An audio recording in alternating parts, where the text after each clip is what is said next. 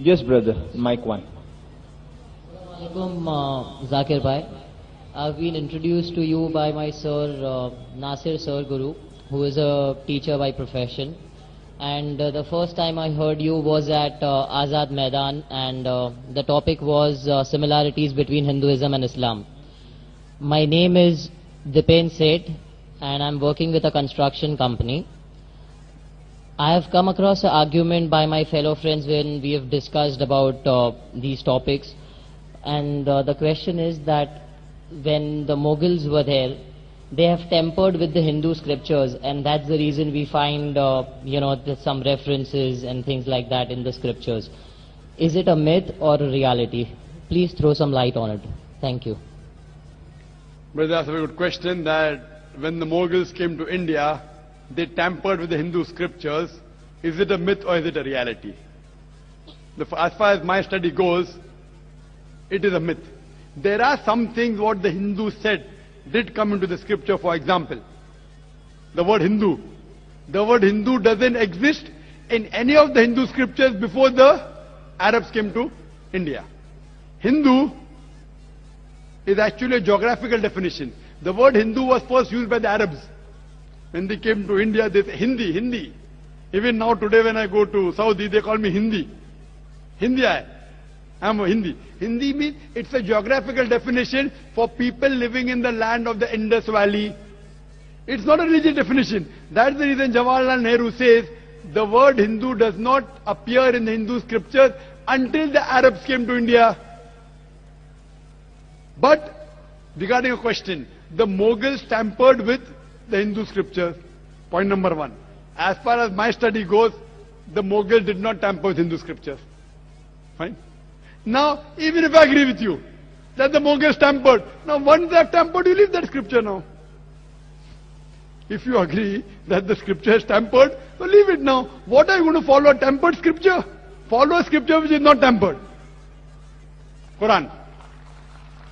So even if I agree with your argument that Mughals have tampered the scripture, now leave that scripture. Suppose you have a glatter, two glasses of water. One glass is pure. In the other glass, someone puts one drop of one drop of gutter water. It's in front of you. But once it mixes, you can't make out the dirt. Will you have that glass of water? No. Why? You can't see it. But because you saw dirty black color drop, it falls in the glass of water, it mixes, you can't make out. Will you have it? Will you have that glass of water? Once I've seen it, I won't have it. Correct, very good, because you're logical. So even if I agree with you that Mughals have tampered the scripture, leave that scripture. Have the pure scripture. Quran. And if you say they have not tampered, your, the Hindu scripture says you have to follow the Quran. Hindu scripture says that you have to follow Prophet Muhammad peace be. If they have not tampered, if they have tampered, leave it, follow this. If they have tampered, the scripture says that you have to believe in one God, which I give quotation. Besides giving quotation of God, that scripture also says that you have to follow the last and final messenger, Prophet Muhammad, peace be upon him. I can give you quotations from the Hindu scriptures talking about the coming of Muhammad sallallahu alaihi wasallam.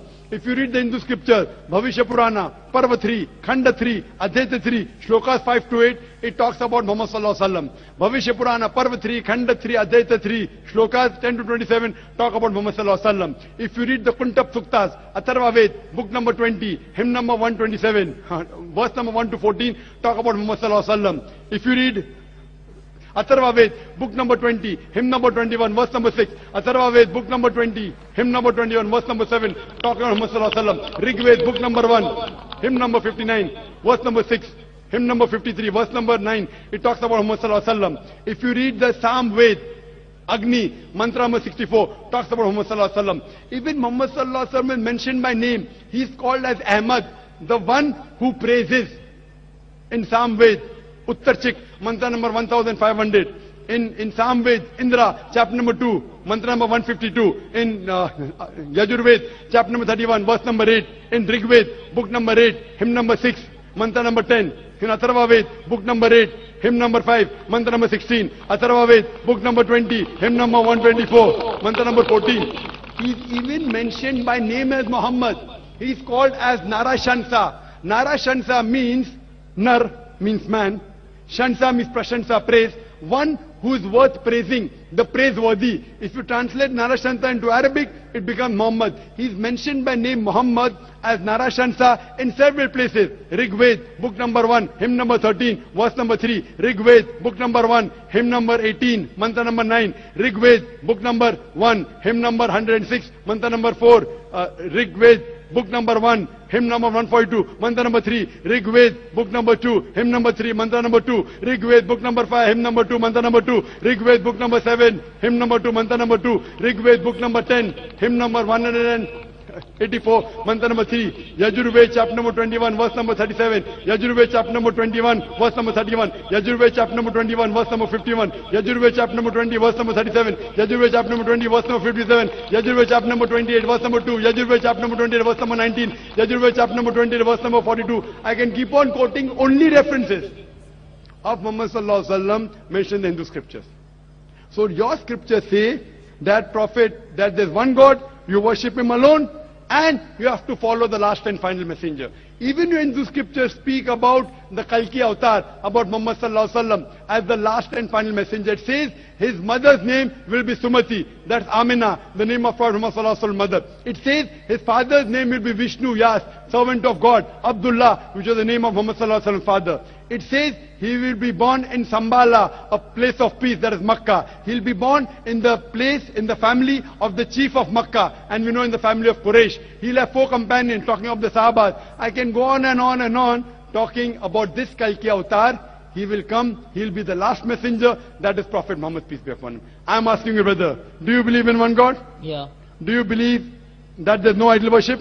Yeah, I don't believe in idol worship after I heard uh, your speech at Azad Mashallah. Maidan. So, you know, I'm very clear in all those aspects and I've heard you a lot of times. So, I just had a question which was posed to me and I wanted an answer for that.